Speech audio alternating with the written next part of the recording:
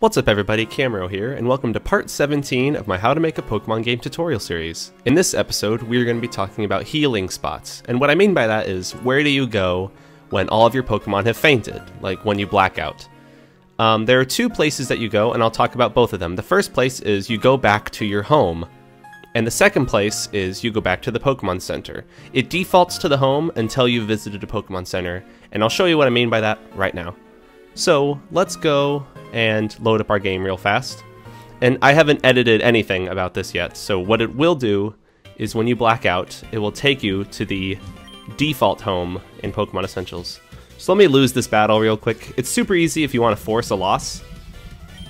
When you go into the battle, you can just hold control. That that's what allows you to access a lot of debug stuff.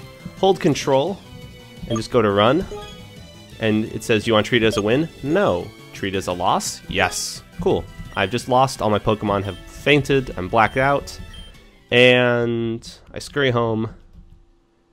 And then it warps me back to the test map. So what happens when you black out is two things.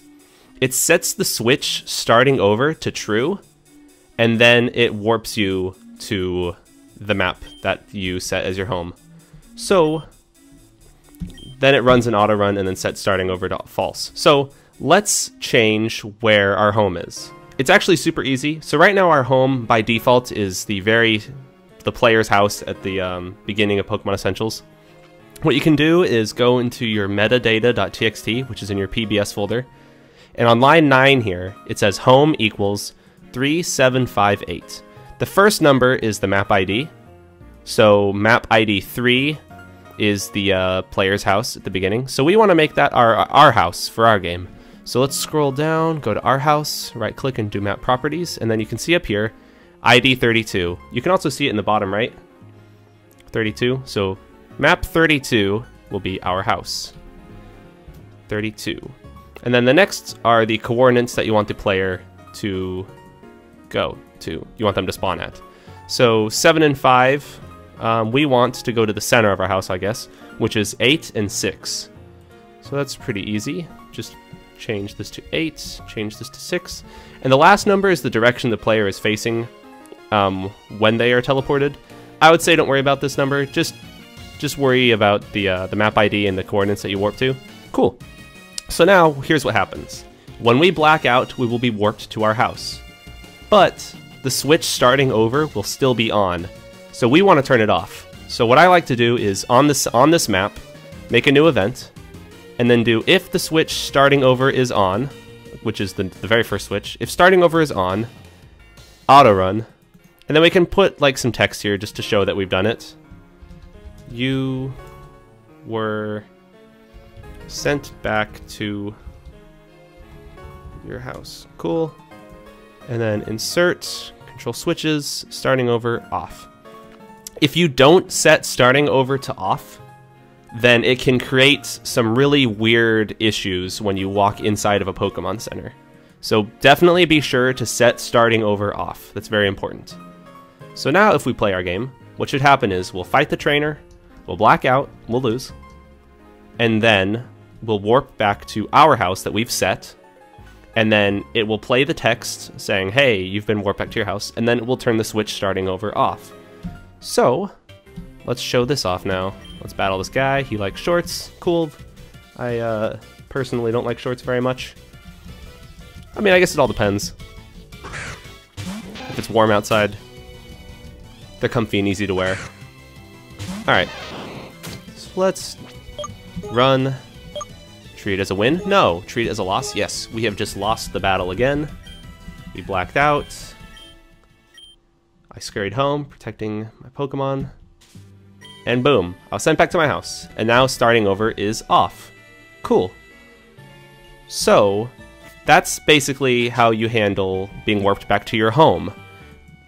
Luckily, the second way, being sent back to a Pokemon Center, is even easier. Pokemon Centers are super easy.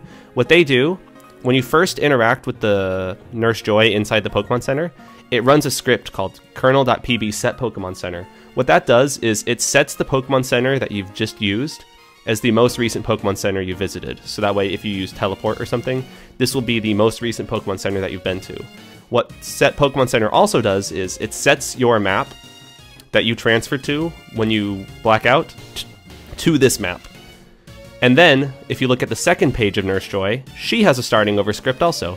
So if starting over is on, she talks to you and restores your party to full health, and then she turns starting over off.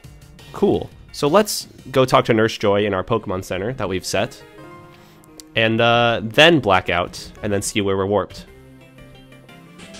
Go into our Pokemon Center. Welcome to the Pokemon Center, yes. And even if you choose not to heal your Pokemon, just the act of talking to her it will set your Pokemon Center. That script always runs. Cool. So now, we can fight this guy one last time and black out. I love this battle theme. Alright. And also, I love the look of Elite Battle System. Looks so snazzy.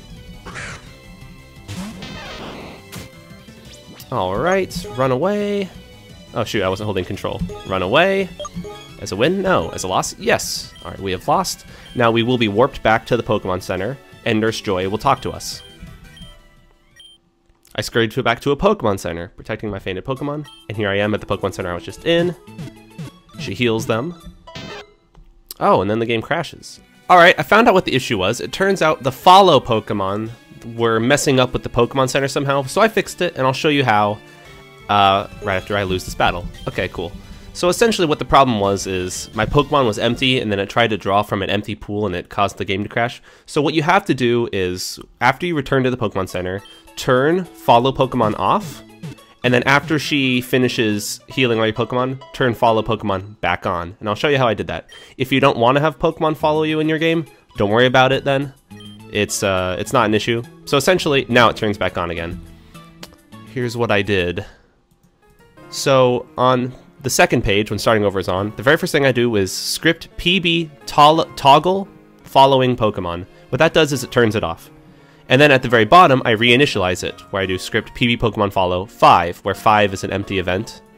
I mean, it's the ID of this empty event here. Once again, if you don't have follow Pokemon, don't worry about it, your game won't crash. If you do have Pokemon follow you, then this is how you prevent your game from crashing. One last thing, if you ever want to change the text that appears when you black out, go to your script editor.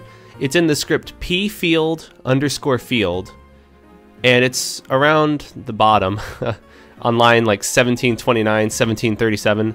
Okay, so on line 1737, for example, here it says blah blah blah scurried home. That's basically the player name. Scurried home, protecting the exhausted and fainted Pokemon from further harm. You can modify that so that it can have any message you want.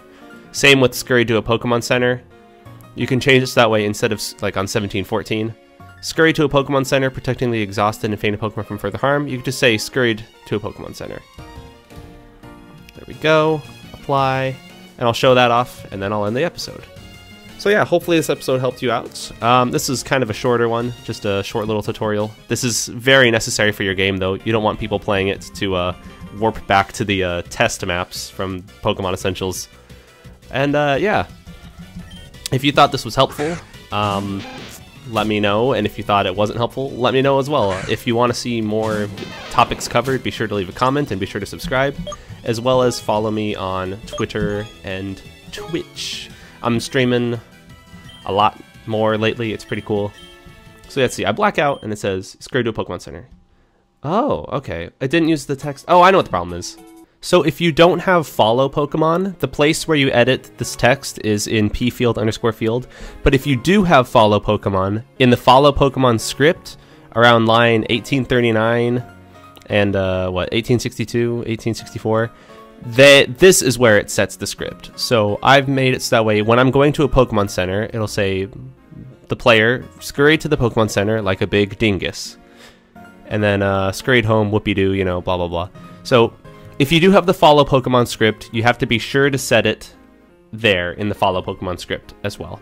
If you don't have follow Pokemon, then just set it in p field underscore field. So now let's show it off. Everything should be working out, everything should be totally good.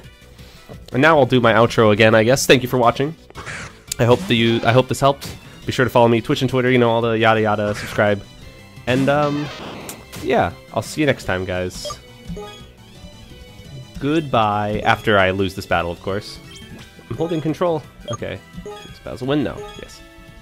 So it should say I lost like a big dingus, because I am a big dingus. It took me... Why, why did it take me a while to figure this out? Okay, like a big dingus. Okay, awesome.